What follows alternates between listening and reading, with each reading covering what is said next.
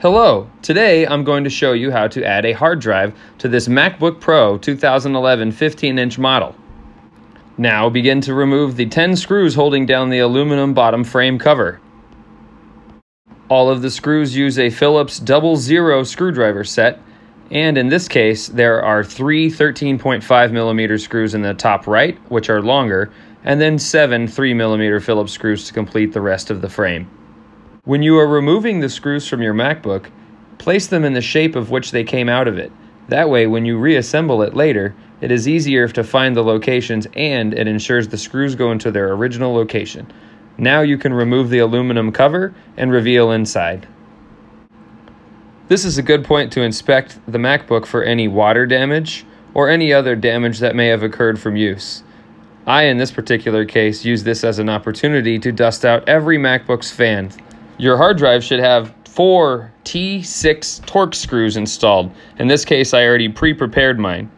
Connect it to the cabling and then orient it to where it goes into the front of the MacBook first and then into the back rail.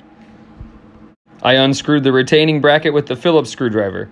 Re-add the retaining bracket with the Phillips screws already pre-installed, then secure the hard drive in place. You may also use a solid-state drive in place of a hard drive for this tutorial. If you are not adding any more memory or replacing any other components, now you can put the aluminum cover back on and begin to put the screws back in in which the order they were removed.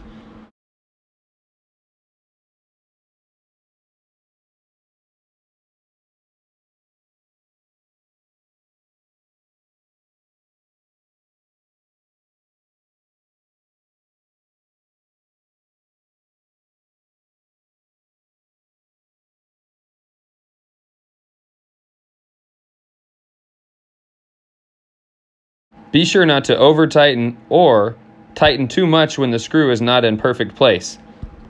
Verify that all the screws are flush with the aluminum bezel. Plug the charger in and, with a USB installer, begin to install the OS X.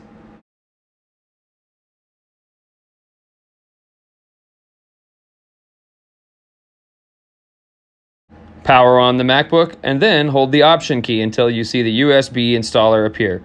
If it does not appear, try a different brand of USB drive or rebuild the installer with a different method.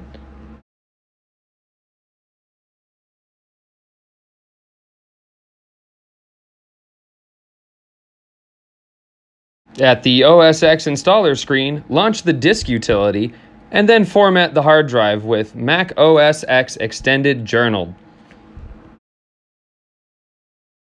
If you are using High Sierra and you are using a solid state drive or any newer version of Mac OS X, it is recommended you format the solid state drive in APFS container.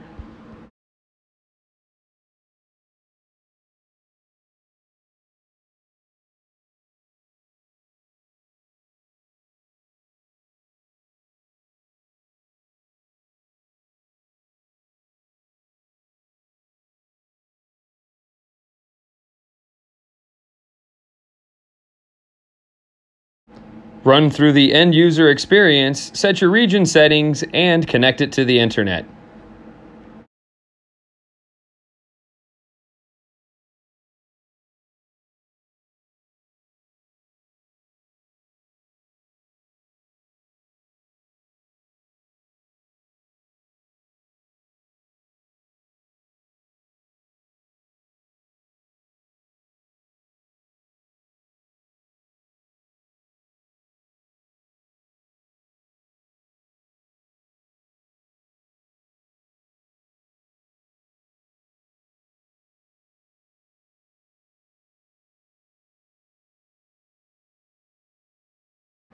If you are using a solid state drive, this process will go much quicker. Otherwise, be patient if you're using a hard drive.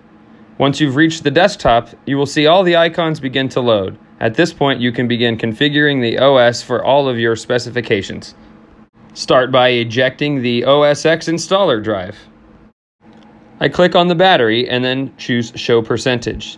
Next, I go to System Preferences. I like to choose Show Hard Disks on desktop show the Bluetooth icon in the taskbar, show volume control, and play audio feedback when volume is pressed. I now enable dark mode. Then I also enable the magnification on the dock. Now we will run the software update. This is achieved by going to the App Store and then clicking on the Updates tab. Run the updates and let them complete. After that, you should have a fully working 2011 MacBook Pro. Enjoy!